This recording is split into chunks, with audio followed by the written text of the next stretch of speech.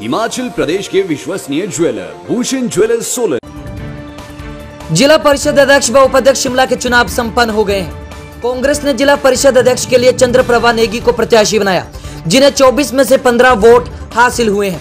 वहीं भाजपा ने आज़ाद प्रत्याशी भारती को समर्थन देते हुए अध्यक्ष पद के लिए मैदान में उतारा। उन्हें नौ मतों से संतोष करना पड़ा। वहीं उपाध्यक्ष पद के लिए कांग्रेस ने सुरेंद्र को प्रत्याशी बनाया और भाजपा ने आज़ाद प्रत्याशी मदन को समर्थन दिया। सुरेंद्र रेडका को 17 वोट और मदन को 7 वोट मिले। इस तरह से लंबी जद्दोजहद के बाद कांग्रेस ने आखिरकार शिमला में जिला परिषद अध्यक्ष व उपाध्यक्ष की कुर्सी को बचा लिया।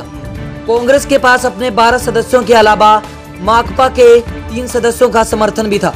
इसके अलावा दो आज़ाद सदस्यों ने कांग्रेस को उपाध्यक्ष के लिए समर्थन दिया। हालाँकि दोनों पदों पर कांग्रेस को एक समान मत हासिल नहीं हुए।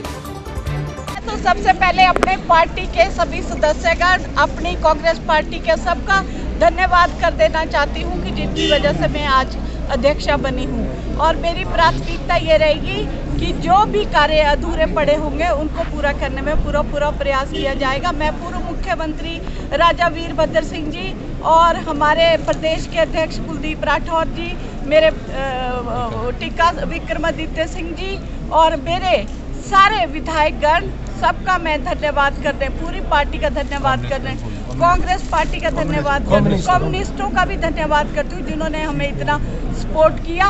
और दूसरी बात जो हमारी पार्टी की आज जीत हुई है उसके लिए मैं पूरे हमारे हाउस में जितने भी मेरे माननीय सदस्यगण थे उनकी सबकी आभारी रहूँगी पूरे प्रदेश में खेल खेला गया। शिमला में भी कोशिश हुई। मैं बधाई देना चाहता हूँ अपने पार्टी के सभी जो हमारे जिला परिषद के सदस्य हैं, सब एकजुट रहे। इतने दबावों के बावजूद, लालच देने के बावजूद भी हमारे सभी पार्टी के लोगों ने एकता का परिचय दिया और उसकी परिणति हुई कि हमारे जो चेयरमैन है और चेयरमैन हमारी चंद्रप्रभा नेगी जी, वाइस चेयरमैन हमारे सुरेंद्र रेक्टा जी जो है भारी बहुमत से जीते और भारतीय जनता पार्टी का जो पैनल था, जो उन्होंने कोशिश की थी कि वो तोड़फोड़ करेंगे उसमें वो कामयाब नहीं हो सके।